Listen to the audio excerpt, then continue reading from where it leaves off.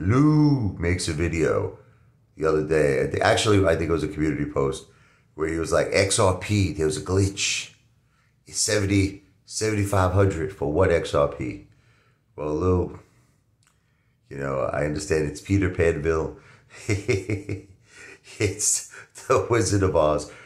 It's 50 cents right now, XRP. As B. Hayes would say, 50. She's your queen, J. Lou. He's dreaming of XRP riches, but Lou is just a bitch to Tyrone and Jamal. Only 50 cents XRP. Lou will never have a car. Lou will never have a home with a jacuzzi like a father. Keep dreaming.